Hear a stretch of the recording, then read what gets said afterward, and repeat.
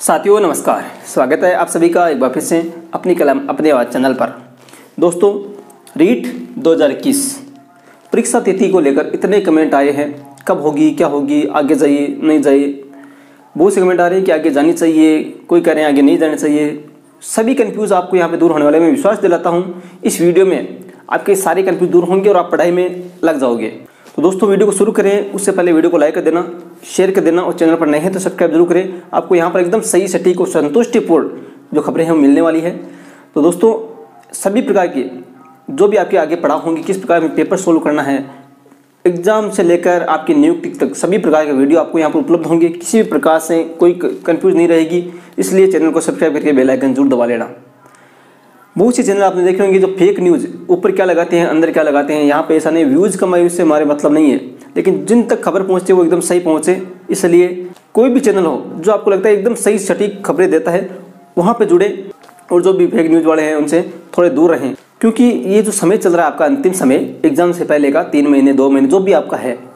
लेकिन इस समय आपने, अगर सही से अपने माइंड को सेट रखकर, कोई भी खबरें किसी भी प्रकार के, आपको केवल तैयारी पे ध्यान देना है। फॉर्म आराम से भर दो और उसके बाद तैयारी में लग जाओ। कुछ भी काम नहीं करना, केवल रीट में ज़्यादा से ज़्यादा नंबर लाने की कोशिश करनी है। कमेंट आ रहे हैं रीट भर्ती को लेकर, कब होगी, क्या होगी एग्ज़ाम कब होगा, पच्चीस अप्रैल को हो पाएगा या नहीं? उस दिन है पच्चीस अप्रैल को महावीर जयंती। और जैन समाज के सदस्य पहुँचते हैं राज्यपाल के पास।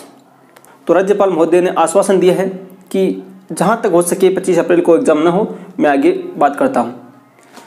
और दोस्तों, ज़ाहिर सी बात है, किसी भी समाज से हो, आप खुद सोच कर देख लेना, क्या अगर दीपावली के दिन एग्ज़ाम हो तो आप सहमत हैं? होली के दिन एग्ज़ाम हो तो क्या आप सहमत हैं? ज़ाहिर सी बात है, और एग्ज़ाम डेट आगे जाना कोई बड़ी बात नहीं है। पॉजिटिव लीजिए। अब देखिए 25 अप्रैल को एग्ज़ाम है। आगे कितनी जा सकती है? मई, जून में बोर्ड की परीक्षा है। मई, जून से पहले होगी, ये तय है।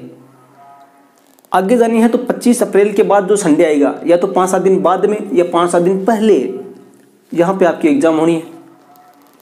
मैं कह रहा हूँ बार बार जो आपने समय सारणी निश्चित किया 25 अप्रैल तक, उसी प्रकार से तैयारी चलने। दो बार बार ये जो फेक न्यूज़ और न्यूज़ जो भी आ रही है फेक न्यूज़ नहीं हो, अगर सही हो कि आगे जाएगी तो कितनी जाएगी? पाँच सात दिन लास्ट कोई फ़र्क नहीं पड़ने वाला, लेकिन आपके जो जो मानसिक तनाव आ जाता है इनसे, इनको दूर भगाइए। कोशिश कीजिए पॉजिटिव रहकर इस समय अपनी तैयारी पर। मैंने क्या क्या पढ़ा है आज तक क्या क्या नहीं पढ़ा है? जहाँ पे मैं कमज़ोर हूँ, उसको और पढ़ूँ। नया सिलेबस में जुड़ा है, उसको मैं किस प्रकार कवर करूँ, उस पर ध्यान दीजिए। सिलेबस प्रिंट करवा कर अपने सामने रखिए और उस पर एक बार नज़र घुमाइए, पूरे में क्या क्या मेरे कवर है क्या क्या नहीं है, उस पर ध्यान दीजिए। ये ध्यान मत दीजिए कि ये चैनल वाला क्या न्यूज़ चला रहा है, ये क्या चला रहा है। बिल्कुल नहीं, ये जो अंतिम समय है। दोस्तों, आपकी सफलता आपके हाथों में अंतिम समय में जिस प्रकार से आप अपने आप को एक झांसे में ढला कर चलते हैं, तभी आप एक सफल अभ्यर्थी हो सकते हैं। वही इन भीड़ में से आगे निकल जाएगा। इसलिए बचिए इन गलत खबरों से, अपने आप को दबाव में आने से, अपने आप को तनाव में आने से बचाइए। तैयारी पे ध्यान दीजिए।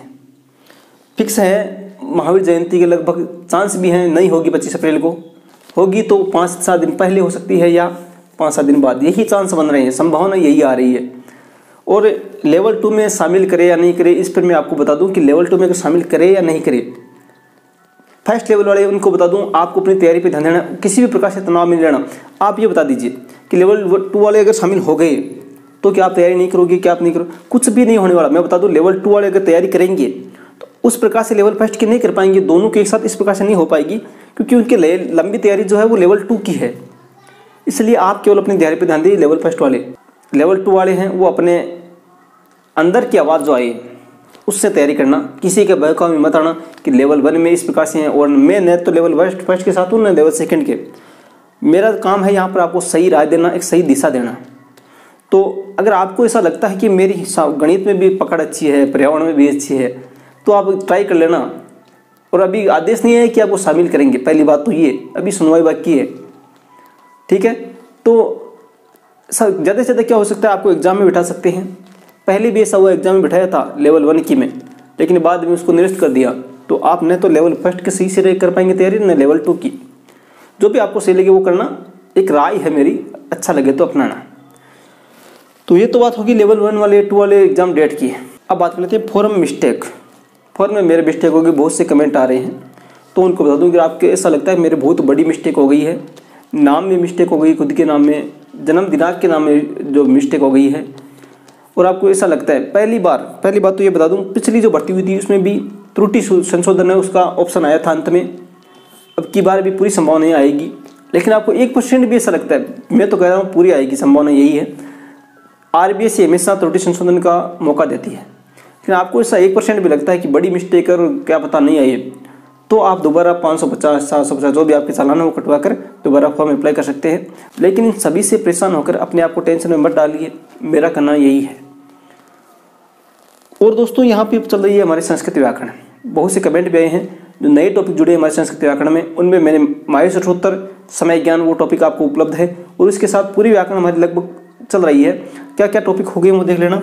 सबसे पहले लिया था मैंने माहेश अठोत्तर उस समय कमेंट आए थे कि सर, ये तो हमारे सिलेबस में नहीं है तो मैं उस समय आपको एक ही बात बताई थी, संस्कृत व्याकरण पढ़ना है तो महेश सूत्र आना ज़रूरी है।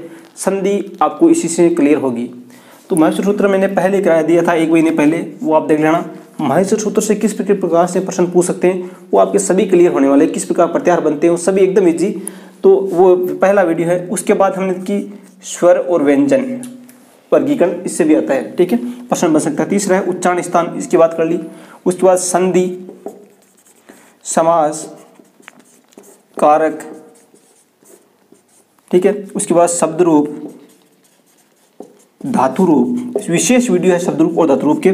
किस प्रकार से हमें याद करना है, वो वो भी आपको देखनी उसके बाद में उपसर्ग और अब चल रहा है हमारा प्रत्यय। प्रत्यय में केवल स्त्री प्रत्यय बचा है। वो कल आपको वीडियो मिल जाएगा पूरा यहाँ पर आपको पंद्रह, बीस, पच्चीस मिनट का वीडियो मिलेगा।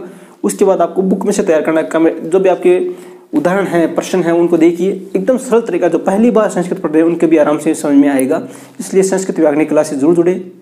ऊपर आई बटन में, पहले कमेंट में हर जगह लिंक है। चैनल पर जाकर प्ले लिस्ट देख सकते हैं, संस्कृत भाई राम सर, उस नाम से प्ले लिस्ट है, वो भी आप देख सकते हैं क्रम से। तो बात ये है, किसी भी प्रकार से अब भी कह रहा हूँ, आपको ऐसा लग रहा है सर बार बार क्यों बोल रहे हैं? अब भी कह रहा हूँ, सफल अभ्यर्थी भीड़ में से आगे वही जाएगा, जो बिना किसी टेंशन के आगे बढ़ेगा। अपनी तैयारी पे ध्यान देगा मेरा क्या क्या कवर है क्या क्या नहीं कहाँ कहाँ पढ़ूँ? क्या क्या पढ़ूँ आर की जो आपकी किताबें हैं, वो सभी आपके जो जो सब्जेक्ट में हिंदी, संस्कृत जीके सामाजिक, वो सभी किताबें आपके पास होनी चाहिए। और उसमें से तैयार करते रहो। अगर आपके पास नहीं है तो टेलीग्राम पर पीडीएफ उपलब्ध है। छः से लेकर दस की किताबें हैं। छः से आठ की मैंने उपलब्ध करा दी है। आज आपको नौ और दस कक्षा की वो सामाजिक उपलब्ध करा दूँगा जीके के लिए। ठीक है? तो जो जो सब्जेक्ट के आप नहीं है, कमेंट कर सकते हैं। पीडीएफ उपलब्ध हो जाएगी या आपके पास में जो भी सरकारी विद्यालय है, पुराने, क्योंकि किताबें चेंज हो चुकी है, वहाँ से आप प्राप्त कर सकते हैं। तो दोस्तों, आशा करता हूँ वीडियो पसंद आए तो लाइक कर देना, शेयर कर देना और चैनल पर नए हैं तो सब्सक्राइब ज़रूर करें। यहाँ पर आपको इसी प्रकार के वीडियो आगे हमारी किस प्रकार से रणनीति हो। क्या क्या विशेष? किस प्रकार से प्रैक्टिस अब हमारे यहाँ पर प्रश्न लेकर आने वाले हर टॉपिक के आपको संस्कृत हिंदी जो भी है, उसमें आपको प्रश्न हल करवाएँ। ऑनलाइन टेस्ट सीरीज़ भी होगी, वो सभी होगी। इसलिए प्रश्न हल करवाए ऑनलाइन आपको बताएँगे किस प्रकार से पेपर सोल्व करना है, किस प्रकार से आपको प्रैक्टिस सेट मिलाने हैं। सभी वीडियो आपको यहाँ पर मिलने वाले हैं। इसलिए चैनल पर बने रहें। नो टेंशन होकर तैयारी कीजिए। मैं अपनी कलम, अपने आवाज़ चैनल की ओर से आपके उज्जवल भविष्य की मंगल कामना करता हूँ और आशा करता हूँ कि आपके सपने पूरे हो, आपके परिवार के सपने पूरे हो, आप अपने परिवार, दोस्तों, आपके जो सपने हैं अध्यापक बनना, उससे कई गुना, उससे कई गुना बड़ा सपना होता है माता पिता का। मेरा जो बेटा है, मेरी जो बेटी है, वो अपने जीवन में सफल हो। बहुत बड़ा सपना होता। अगर आपने उनका वो सपना पूरा कर दिया तो मैं निश्चित कह रहा हूँ, जितनी खुशी उनको उस दिन होगी, उससे बड़ी कोई खुशी नहीं होगी कि उसकी संतान आज सफल हुई है। तो एक बार पुनः मैं आप सभी सभी से रिक्वेस्ट मैं बार बार कहूँगा कि नो टेंशन होकर तैयारी कीजिए, अब की बार रेट पर ठीक है दोस्तों, मिलते हैं नेक्स्ट वीडियो में। आशा करता हूँ पसंद आए तो एक बार पुनः करना चाहूँगा लाइक कर देना, एक बार शेयर करके सपोर्ट ज़रूर करें और सब्सक्राइब ज़रूर करें। धन्यवाद, जय हिंद, जय भारत।